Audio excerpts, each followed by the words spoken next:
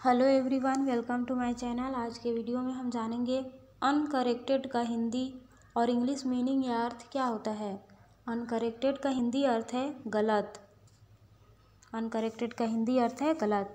वहीं इसका English meaning है not corrected not made right having flaws or error not corrected not made right having flaws or error एक example से समझते हैं इसे। For example both corrected and uncorrected data are given in the table यहाँ uncorrected का अर्थ है गलत।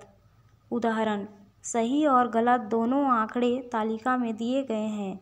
और इसी के साथ आज के वीडियो में बस इतना ही। Thank you so much for watching my videos